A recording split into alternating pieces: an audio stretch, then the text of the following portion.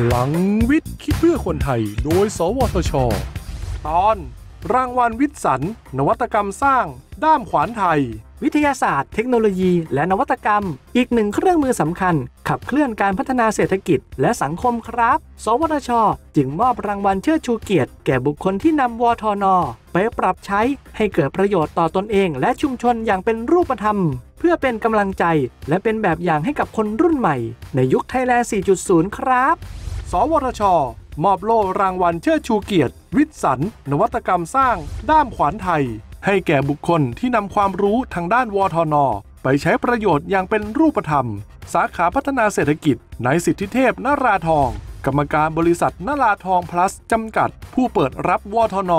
มาใช้ในวงการค้าไม้และวัสดุก่อสร้าง สาขาพัฒนาสังคม นางวันดี ทองเกลี้ยง ผู้นำชุมชนดอนรัก จังหวัดปัตตานีนำปรัชญาเศรษฐกิจพอเพียง ประสานความรู้ด้านวิทยาศาสตร์และเทคโนโลยีในการทำนา